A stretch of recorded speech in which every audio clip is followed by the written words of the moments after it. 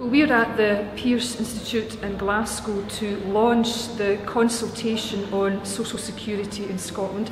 This is a very important milestone in our journey towards a uniquely Scottish social security system.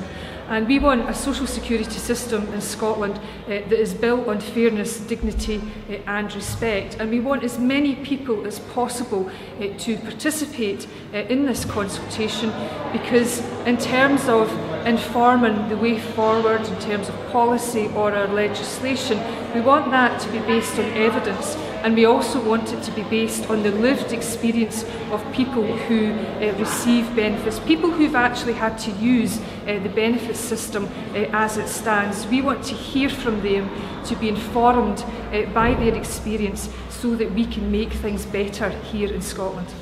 I think they need to know what people think about what's going on. I think they need to find out where the current government at Westminster have gone wrong, because they definitely have.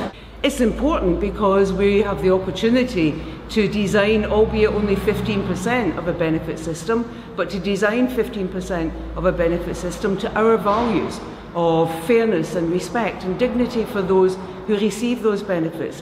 To do that well, we need to hear from those who currently are in that system and have their views and their ideas about what is wrong with the current system and how we as a government in Scotland can improve it.